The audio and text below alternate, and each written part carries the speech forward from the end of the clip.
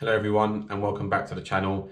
For those that don't know, my name's Karim and I go by the name of Fuzzy Feet Footwear on YouTube and Instagram. I am a UK based part-time eBay shoe reseller and what that means is I buy smelly old shoes from places such as car boot sales, charity shops, kilo sales, online for as low as I possibly can and I sell them online on eBay for a profit. So first of all, I hope everyone's had a really good summer. I know it's been a bit mixed in terms of weather but it's just nice to like make the most of like whether that's going to the beach, going abroad, or just spending time with your loved ones. Apologies for not putting out any videos as of late. Um, personal commitments have got in the way. Um, I do work full time, as most of you will probably know by now, and I do this part time. So when I am off, I like to put as much time as I can into eBay and YouTube. As much as I do enjoy it, it does take away from that. Having said that, the kids will be back at school very soon. So I am looking to do a lot more uploads, especially more outdoor ones such as like thrifting, sourcing in car boot sales, charity shops, etc. So I thought today I'd uh, go through some of my latest finds just to give you guys an idea of what I pick up, um, how much I pick them up for and what I'm expecting them to sell for. So first things first, we have a pair of Nike Air Huarache runs. Um, these are this model's called the Carbon Green. It's um, it's not there's not many around on eBay actually. After doing a bit of a search, um, I think there's about two or three, and they're listed at about thirty four ninety nine used. So I'm going to do the same thing because I feel like my pictures, my listing optimization will be of a high standard. So I'm going to price these at thirty nine ninety nine. I paid three pounds for them at a boot sale. They are a size UK five, so the buy will probably be um, a junior or a woman's.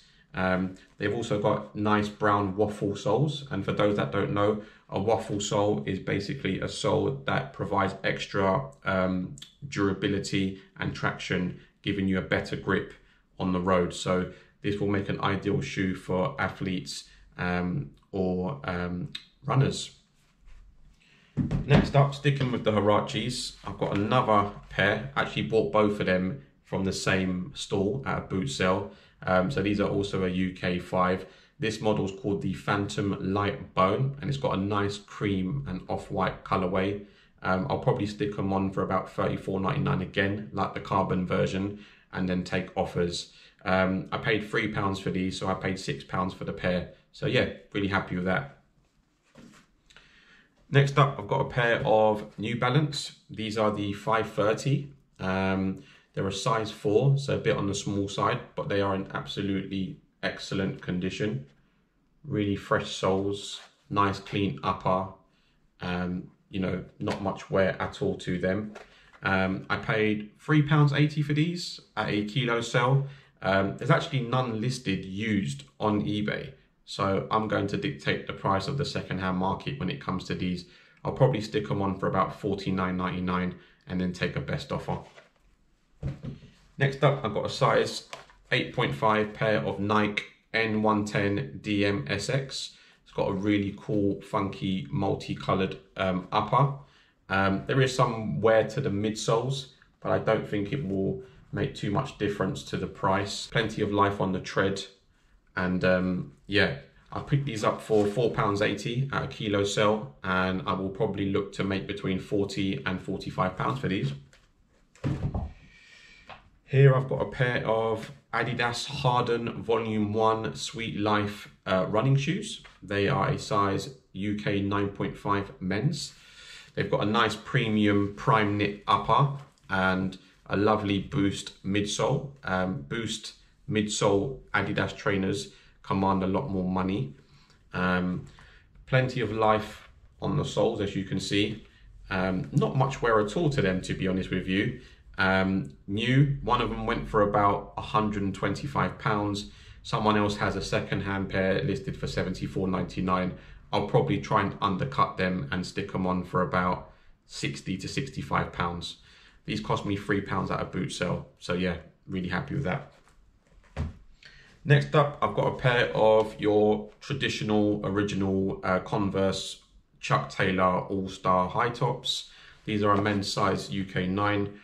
I am a nine. I did think about keeping them, but I thought as we approach winter now, Converse aren't the best shoes to be walking around in the wet weather. Um, but yeah, good condition, classic color. Um, I'll probably look to get between 30 and 35 pounds, especially because they're sort of like a good men's size. Uh, sorry, these cost me two pound at boot sale. Next up, I've got a pair of Air Force One black high tops. These are a size UK 5 women's. They've got the Velcro strap and the lace up. Um, relatively good condition. Uh, a bit more desirable than the lows. Um, but yeah, solid bread and butter sell. I love picking up Air Force One, especially the triple black and the triple white. Um, I'm probably look for about 30 pounds on these ones. These cost me two pounds at a car boot sale. Next up, I have a pair of Air Max 97s. These are the gold metallic model. Um, they're a size nine. I paid eight pounds with postage, so it was five pounds plus three pounds postage on Vinted. And looking at eBay solds, I should be expecting anything between 40 and maybe 50, 55 pounds. Um, I have actually worn them once since picking them up. I guess that's just the perks that you get for being a shoe reseller, but I'm sticking to my guns and I'm going to sell them. Last but not least, I have a pair of On Cloud On Running shoes.